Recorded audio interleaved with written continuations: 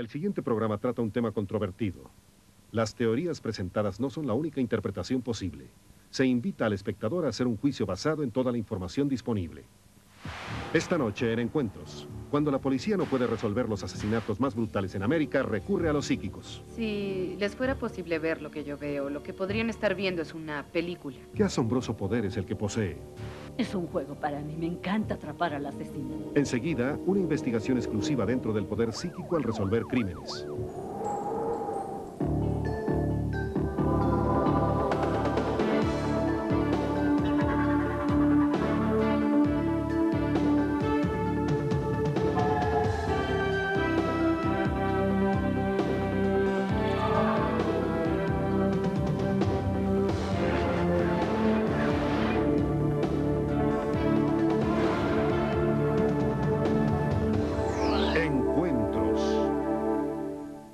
Bienvenidos a Encuentros, soy Tim White.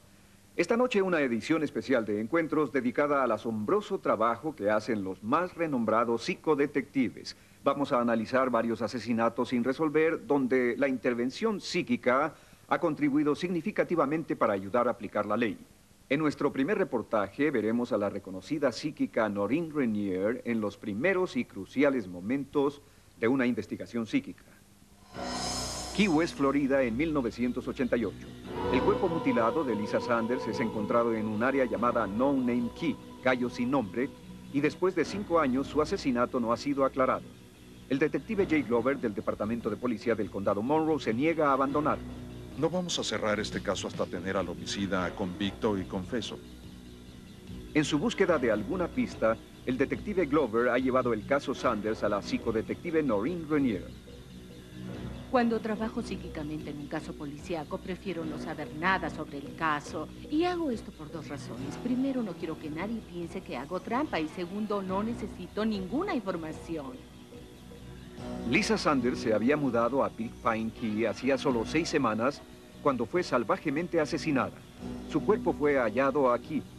Irónicamente, acababa de librar una batalla contra la leucemia. Ella estuvo muchos años sin poder comer por sí sola y tuvo que ser alimentada. A los 20 años, la leucemia de Lisa había sido vencida. Sus padres estaban retirados y vivían en Los Cayos. La invitaron a mudarse de Michigan al cálido clima tropical. Le compraron a Lisa un camper situado a poca distancia del de ellos, para permanecer cerca. La noche de su muerte, Lisa Sanders asistió a una fiesta en un solitario paraje. En diciembre de 1988, Lisa Sanders asistió a una fiesta que se dio al final de este camino. Aproximadamente a las 10 en punto de esa noche, fue vista dejando esta fiesta caminando hacia donde ella vivía. Ella había sido muy protegida porque había estado enferma siempre. Mi impresión es que cuando ella fue a esa fiesta se encontró algo diferente a lo que estaba acostumbrada. No fue lo que ella pensó que iba a ser y ella quiso irse de ahí.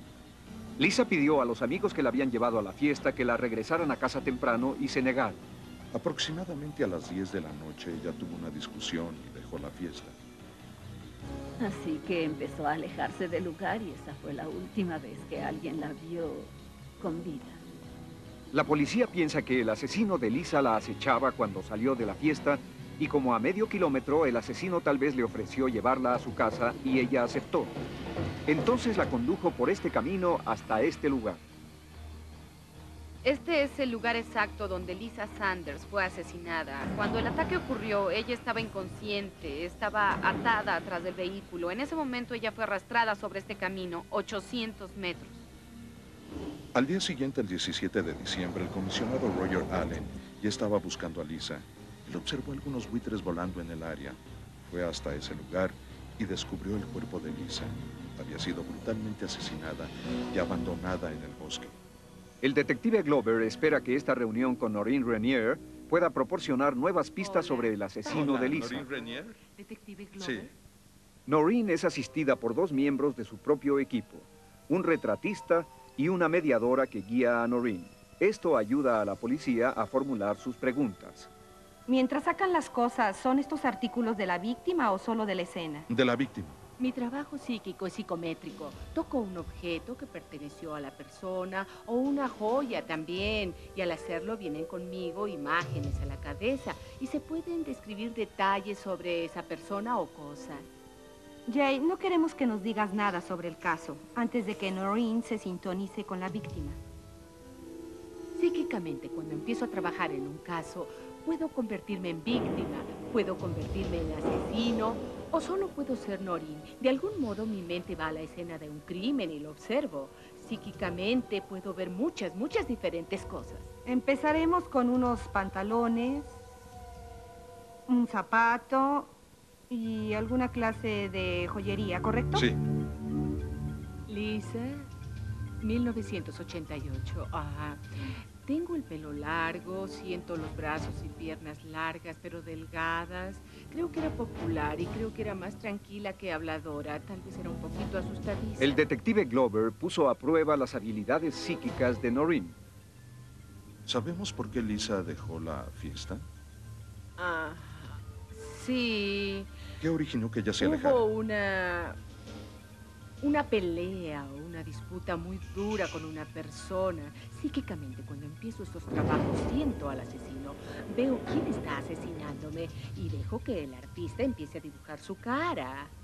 Cejas oscuras, los ojos pueden ser azules, su nariz es recta y tal vez es más prominente porque fue rota. Músculos sin grasa, tiene un tatuaje o una cicatriz sobre el pecho. Eh, Está muy orgulloso de su cuerpo, usa la ropa ajustada para mostrarlo, se siente más rudo. Cuando estoy trabajando como una psíquica y empiezo a sentir demasiado dolor como la víctima, mi asistente puede despertarme. Yo, yo siento más de una herida. Eh, existen múltiples heridas y, y yo siento, siento mucha violencia. Y como Lisa tengo muchas heridas. Necesita ir más allá de su propio dolor ahora. Antes de arrastrarme, simulé que estaba muerta. ¿Hay alguna cosa que dije ahora que pueda servirme? Sí, Múltiples heridas. Múltiples heridas. ¿Y dije algo sobre mi cabeza? Sí. ¿Podría decirme cómo fue asesinada? Ella fue, creemos, apuñalada y después arrastrada con un vehículo. Entonces no estaba muerta cuando él... Es por eso que mi cabeza estaba doliéndome demasiado y luego sentí algo aquí. Aquí fue donde la apuñalaron, arriba del pecho. Así pasó. Déjeme preguntarle, ¿quién, quién recogió a Lisa después de salir de la fiesta? Un escocés. Cualquiera de estos aspectos le Algunas sirve. de las cosas que está describiendo sobre Lisa son ciertas y algunas de las cosas que está descubriendo sobre el sospechoso son correctas. Lo que realmente me sorprendió fue que ella salió con, con algunas cosas que solo hasta ahora aparecieron. El caso de Lisa Sanders es demasiado oscuro. Necesitamos más pistas. Hay un sospechoso en mente. Desde el principio, el trabajar con la psíquica nos ayudará a obtener algunos indicios y pistas. Como una psicodetective, yo no resuelvo crímenes, solo soy usada como una llave para la policía. Ellos son los profesionales y resuelven el crimen. Noreen Renier no sabía que la policía de Key West estaba investigando a un sospechoso del homicidio de Lisa Sanders, pero asombrosamente la impresión psíquica de Noreen independientemente confirmaba todas sus sospechas. Noreen también proporcionó importante información que ayudó a la policía a identificar el arma, pero nos pidieron no revelar esa información para no entorpecer su investigación. A continuación, un psicodetective que ayudó a encontrar más de 160 cuerpos. ¿Cuál es el secreto de su asombroso poder? Es un juego para mí. Me encanta atrapar a la. Continuamos. Hay quienes creen que los psíquicos no son eh, más que personas con suerte que consiguen sus éxitos por coincidencia. Pero existen oficiales de policía que no olvidan a estos psicodetectives con facilidad, sobre todo aquellos que han trabajado con Dorothy Allison, una psíquica con una increíble trayectoria. Por 25 años, Dorothy Allison ha estado involucrada en más de 400 casos policíacos resolviendo asesinatos. Ha hallado a más de 100 personas perdidas. Su índice asombroso de éxitos ha atraído la atención internacional. Ella ha trabajado en algunos de los más terribles asesinatos del siglo XX, el de John Wayne Gacy, el del asesino masivo de Atlanta Wayne Williams, etc. El único modo de verme involucrada es si la policía me habla. Si no lo hace, no trabajo en un caso. Yo no soy voluntaria de ningún servicio policíaco a menos que reciba una carta. Un asesino que mata a una sola persona es una cosa, pero un asesino masivo es una persona muy astuta y sádica. Así que tengo demasiadas visiones y percibo demasiadas caras, todo a la vez. Como las imágenes de Dorothy son a menudo abstractas, ahora trabaja con dos detectives que actúan como enlaces o intérpretes para otros departamentos policíacos interesados en utilizar sus servicios. Al hablar con Dorothy hay que interrogarla como un sospechoso. Ella ve lugares y tienes eh, que revisar esos lugares hasta encontrar lo que se está buscando. Cuando los cuerpos de 33 jóvenes fueron encontrados en la casa de John Wayne Gacy de Chicago, Dorothy Allison había sido llevada allá para buscar el cuerpo desaparecido de un chico perdido y cuya desaparición inició toda la investigación. Ella le dijo al detective Joe Kosensack que hallaría el cadáver en abril 9 cerca de un puente. Estaba sentado en mi escritorio. El teléfono sonó. Era el comisario de un pequeño condado cercano a este puente. Y él dijo, será mejor que venga. Encontramos un cuerpo en el río y creemos que es el muchacho que está buscando. Y miré en mi calendario y era el 9 de abril. Mi meta es ver cuántos asesinos puedo localizar. Es un juego para mí. Me encanta atrapar al asesino. Sí, señor. Si se puede notar la maldad en, en un asesino, será en sus ojos. En los ojos de Dorothy veo esperanza. Encuentros rogó a Dorothy Allison que brindara su importante ayuda para un caso policíaco en Menomonee Falls, Wisconsin. El misterioso caso de Sandra Bertolas ha sido clasificado como persona desaparecida, pero la familia y algunos investigadores piensan que se trata de un homicidio. Dorothy Allison cree que Sandra Bertolas está enterrada en este campo al norte de Wisconsin. Está convencida de que Sandra se involucró en algo sucio y se ha propuesto tratar de aliviar el dolor de la familia Bertolas llevando al asesino ante la justicia. Cuando sentí el cuerpo bajo tierra, mi cólera creció tremendamente, ya que esa niña ni siquiera tenía su propia tumba. El 24 de abril de 1988, Sandra Bertola salió de su casa por última vez. Según la policía, fue a ver a su novio, quien le había mentido sobre su verdadera identidad. Me siento culpable porque yo fui la que le dijo a Sandy que su novio le estaba dando un nombre falso y una falsa dirección.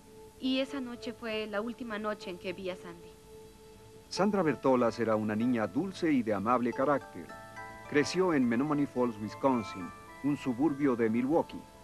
En este video casero dedicado a su memoria, se ve a Sandra, la menor de ocho hijos, rodeada por el amor y protección de su familia. Un círculo de amor que fue destruido por esta pesadilla. Odio ver lo que está pasándole a mi familia. Todos son víctimas. Es muy difícil el poner una buena cara y decir que todo está bien, ¿no es así? Piensen que son cinco años, casi dos mil días seguidos con sus noches. ¿Dónde está mi hija? La madre de Sandra ha llevado un diario en los últimos cinco años, un doloroso registro del dolor de la familia. Pero ahora hay una esperanza representada por la psíquica Dorothy Allison. Lo que debemos hacer es ser más astutos que este hombre. Antes de que este caso esté cerrado, yo lo voy a atrapar. Sin un cadáver y después de agotar todas las pistas, la policía está en un atolladero. La familia está trabajando con el detective privado Jerry Broderick para continuar la búsqueda de Sandra. Broderick aún consulta con la policía y sigue sus propias pistas. Él cree que Sandra fue asesinada por su antiguo novio. Estoy furioso por lo que le hizo, como todo el mundo. No podrá esconderse en ningún lado. Así esté en Bangladesh o donde sea, no se saldrá con la suya. El detective de policía de Menomonee Falls, Charles Ducrow, está a cargo del caso. Fue él el primero en hacer el contacto inicial con Dorothy Allison y el primero en registrar sus impulsos psíquicos sobre la desaparición de Sandra. Jerry Broderick y yo tuvimos algunas conversaciones con Dorothy Allison antes de que viniera aquí. Una chica perdida. ¿Creen que fue una mala jugada? Ella nos dio indicios por teléfono. Siento que es un lugar con un nombre real, ya sea el de príncipe, princesa o Princeton. Veo un zoológico. Dicen que no tienen zoológico. No puede ser visto desde el camino. Veo leones en él, un campo de golf, un edificio redondo. Esas son algunas de las cosas que encontraremos cerca del cuerpo. El detective Ducrow y el investigador Broderick se asombraron por la exactitud de Dorothy. Encontraron la calle con el nombre real, encontraron el edificio redondo, también mencionó un campo de golf, una guardería con el nombre Robbins y luego también encontraron los leones. Nos ha dicho algunas cosas muy intrigantes. Una mujer que jamás ha estado en Wisconsin. Era imposible que inventara o imaginara. Ha estado ajustándolo como un rompecabezas, eh, colocando pieza sobre pieza. La policía creyó que Dorothy estaba acertando. Nosotros la llevamos hasta esa remota área de Wisconsin. Y cuando llegó, inmediatamente sintió un fuerte impulso psíquico. Puede que sea necesario recorrer una gran distancia, tal vez varias hectáreas, pero en un momento todo se sintoniza. Es inmediata la sensación. Todo se aclara de pronto. A pesar de que el cuerpo de Sandra no ha sido encontrado, Dorothy indicó a los detectives el lugar donde buscar. Ella está convencida de que Sandra está aquí, y cuando la policía la encuentre seguramente hallará al asesino. La policía y Jerry Broderick concuerdan con ella. Esperan que la investigación del sitio finalmente resuelva el caso de Sandra Bertolas. Está con nosotros Jerry Broderick, el investigador privado involucrado en el caso de Sandra Bertolas. Está aquí para informarnos en qué fase se encuentra el caso después de la investigación de Dorothy Allison. Jerry, me alegra que estés aquí. El gusto es mío. ¿Nos puedes decir qué pasó en Wisconsin después de que nuestras cámaras salieron de ahí? La información suministrada por Dorothy Allison, el hecho de que nos hemos enfocado en un sitio, la excavación de este y lo que técnicamente significa el utilizarlo, se tiene bajo cuidadosa consideración. ¿Te sorprendió que hubiera una apertura y se utilizara un psicodetective en este caso? Pues por parte de la policía, sí, y desde luego hay varias razones prácticas para eso. Si alguien lleva a un psíquico a la corte como fuente de su evidencia, el público se iba a burlar. Eh, ya habías tenido una experiencia previa con psicodetectives y ¿cuál es la opinión que tienes acerca de ellos? Son personas sinceras y desean mucho el ayudar a familias como esta a aliviar su dolor. Jerry, gracias por acompañarnos. Gracias a ti. Y volveremos con más encuentros en un momento. Una madre perdida en un terreno árido al sur de California. Un asesinato sin resolver parece obstaculizado. Encuentro solicitó a la psicodetective Nancy Setley su ayuda. Ella ha trabajado exitosamente con el FBI y accedió a trabajar en este extraño caso desde su hogar en Pensilvania. Si les fuera posible ver lo que yo veo, lo que podrían estar viendo es una película. Es tridimensional, es en colores y algunas veces mis imágenes son aéreas. Encuentro suministró a la psíquica Nancy Setley una fotografía y una muestra de escritura de la víctima. He aquí su primera e increíble lectura. De pronto pude ver una muy alta colina con arbustos y parecía muy tranquila. Y noté que había una playa muy cerca. Hay una gran cosa redonda que parece unos cimientos. Sentí que estaban en una extensa autopista.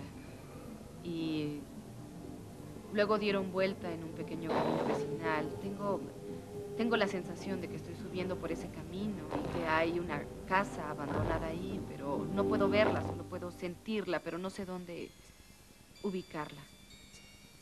Aunque Nancy jamás ha estado en el sur de California, desde su hogar a 360 kilómetros, le fue posible dar al Departamento de Policía del Condado de Los Ángeles las pistas que los conducirán a esta área. Ella cree que es ahí donde el misterio de la madre perdida llegará a resolverse. Siento que a esta mujer la mataron. Y siento que el culpable fue alguien que la conocía muy bien. El 22 de abril de 1991, Anne Reyes, madre de tres hijos, los dejó en su casa con su esposo y luego fue hasta un restaurante de comida rápida a comprar la cena para la familia. Nunca se le volvió a ver. Que ella murió y cómo fue que murió, no lo sé. Cuando una persona muere, Jamás se olvida, se apena uno por ella y se le extraña mucho. Es natural. Cuando nos enteramos de la desaparición de Anne Race, nos entrevistamos con Nancy Setley y le preguntamos si ella podía suministrar las piezas faltantes de este acertijo que tenía en jaque a la policía. El jefe investigador de homicidios, Louis Danoff, dice que el caso aún está estancado. Sinceramente, creo que estos psíquicos lo que hacen es ponerte en una posición de revaluar algo de la información que ya se tiene. El equipo investigador de encuentros encontró un área de montañas aisladas que parecen encajar en la descripción suministrada por Nancy Setley desde su hogar en Pensilvania. Después de ver nuestra videocinta y de hablar con Nancy Setley, Louis Danoff sintió que las visiones de Nancy justificaron más investigaciones. Nancy fue llevada hasta California. El esposo de la persona perdida había sido asistente del comisario y su último trabajo en el departamento había sido en el área de la estación de Malibú y el área que la psíquica estaba describiendo podía ser esa. La visión psíquica de Nancy condujo al departamento de policía a este remoto cañón. Pero como es una propiedad privada, hace falta una orden de cateo. Lo que voy a hacer ahora es visitar ese sitio con la psíquica y voy a intentar identificar quién es el dueño de la propiedad. Afortunadamente será posible rastrear ese lugar con perros por el cañón que ya nos fue señalado. Con esta nueva información, el Departamento de Policía planea conseguir las órdenes necesarias que les permitan cavar en propiedad privada. Tan pronto como empiecen, Encuentros estará ahí para enseñarles lo que las autoridades descubran. Si tienen una experiencia paranormal, llamen al 1-900-740-SITE. Cada llamada 75 centavos el minuto. Llamada normal 2 minutos y deben ser mayores de 18 años. Espero que me acompañen en próximas investigaciones de lo inexplicable. Para Encuentros, soy Tim White. Amigos, te dicen en qué radio se